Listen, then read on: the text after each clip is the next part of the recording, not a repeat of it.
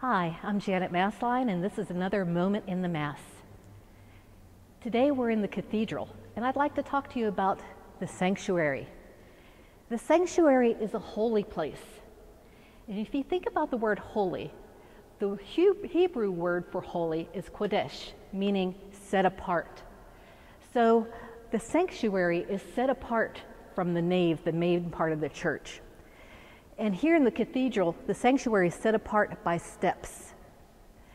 And then in the, on the sanctuary, we have the altar and the ambo. And here in the cathedral, those are further set apart by the steps going up to the altar, and there's also steps going up to the ambo. So if we remember that this is a holy place. It is a place set apart. It is special to us.